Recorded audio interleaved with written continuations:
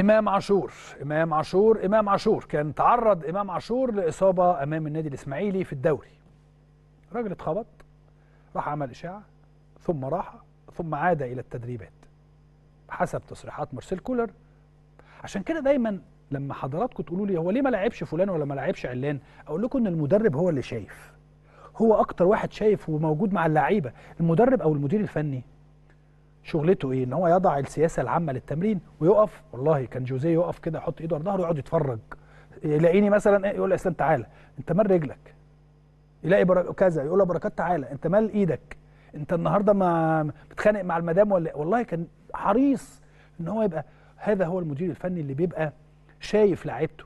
فمارسيل كولر من المديرين الفنيين اللي بيشوفوا لعيبتهم وبيوصوا لهم بشكل جيد. فلما إمام نزل التمرين بعدها كان بيشعر ببعض الألم ومش بيتمرن بقوة. ومثل والأجانب تحديدا أو الأوروبيين تحديدا لو ما ادتنيش 100 100 في التمرين مش هدي مش هحطك في المباراة.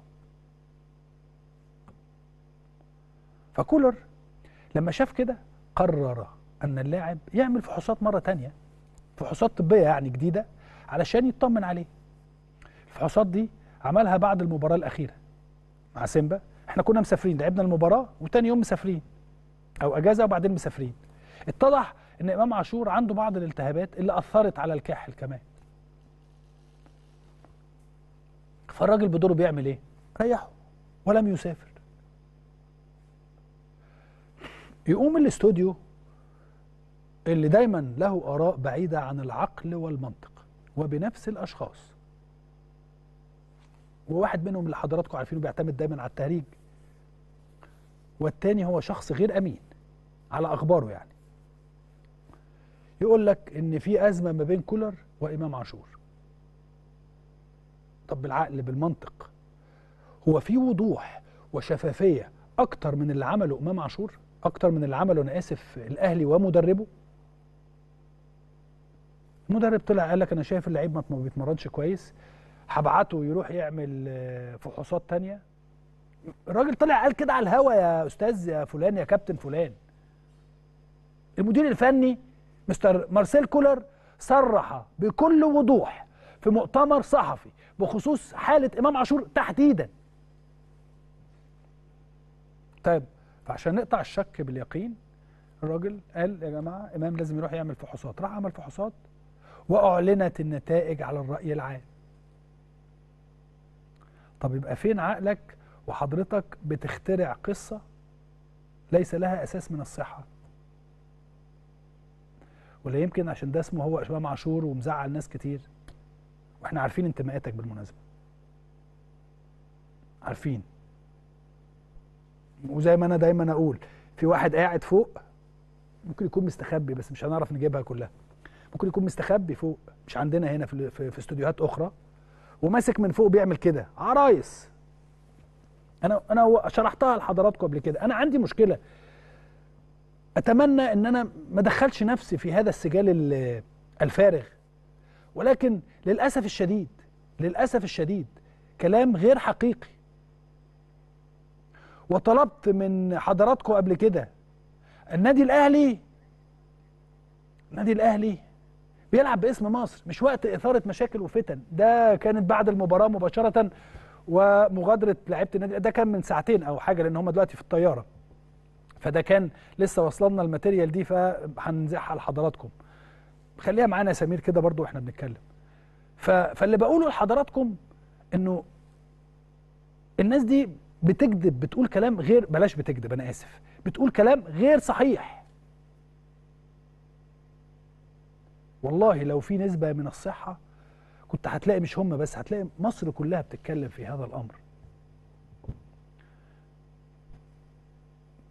واحد ما بيتمرنش في حاجة مش هو ده إمام عاشور وهو بيتمرن؟ فالراجل شاف كده قال له روح اعمل تحاليل وقال كده على الهوا.